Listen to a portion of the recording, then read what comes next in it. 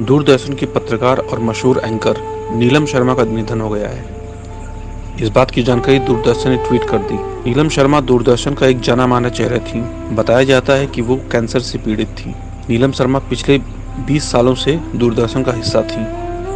उन्होंने दूरदर्शन के साथ अपने करियर की शुरुआत उन्नीस सौ पंचानवे में की थी।